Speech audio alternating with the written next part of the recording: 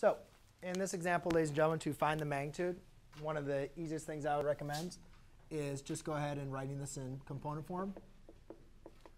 Once you kind of get used to linear combination, you're not going to write it in component form. But if you're, that's one of the things you're getting stuck on, just write it in component form. So we know the magnitude of a vector v is equal to the square root of v1 squared plus v2 squared. That's kind of like your component here, where we could say here's v1 and here's v2. So basically, all we're doing is squaring our first component and then adding it to, the squared of the second component. And that's actually 25 plus 144, square root of 169, which is equal to 13. Right? Then the next thing is to find the direction. So now the direction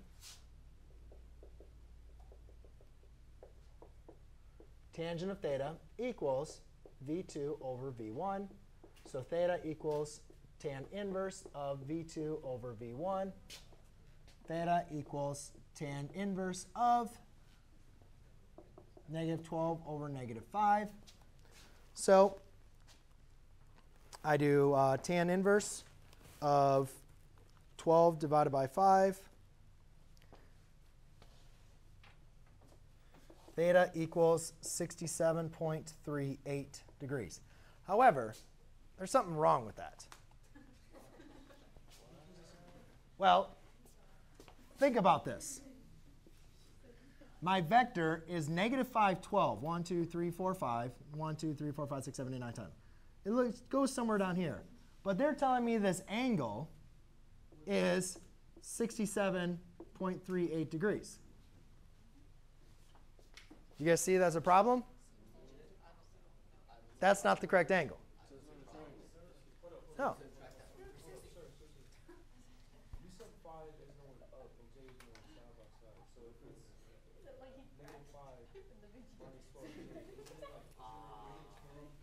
This is how far you go, left or left or right. So you're going.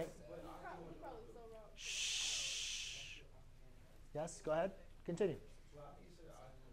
No, is going left and right. No, I is going left and right. J is going up and down. Yes. Huh? No. Negative 5 means you're going to the left. Negative 5 means you're going down. But the problem is, excuse me, I want you guys to look at this. There's an issue with this. We know this vector, negative 5, 12, is down here, right? You guys can agree with me. It's down there. Negative 5, negative and negative. But our angle is giving us this. Now, why is that? If you guys remember, when we did inverse tangent, inverse tangent is restricted within the first and the second quadrants.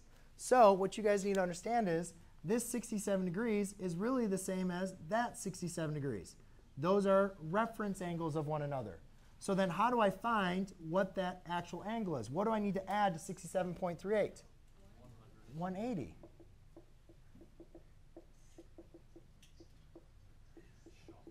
So theta is going to equal plus 180 degrees. I'm just going to round to the nearest degree is going to be 247 degrees. That is going to be my angle.